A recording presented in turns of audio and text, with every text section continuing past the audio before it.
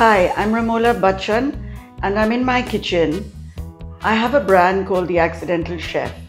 And one of the things that we do, which are very popular, are Mediterranean dips. Dips are the perfect party food. They're easy to make and you can make them ahead of time. You can use any ingredient, be as creative as you want. Here I'm making a roasted uh, red bell pepper and feta dip. You can go quite spicy on this one. Take up the heat as much as you want. The more you do, the better it tastes. So here I have uh, two bell peppers. They've been roasted in the oven. And there's skins, you can leave them on or you can remove them, it's up to you. Um, I have some roasted garlic, which as I said, I love to use the roasted garlic.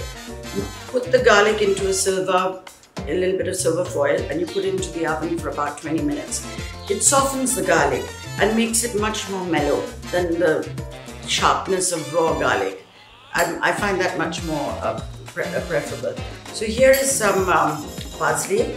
Uh, here we have some roasted uh, cumin powder, zira, chili, chili flakes, some lemon juice, and of course here is the is a half a cup of feta, soft, the soft feta you need, some lemon juice and some extra virgin olive oil. I'm going to put them all together in a blender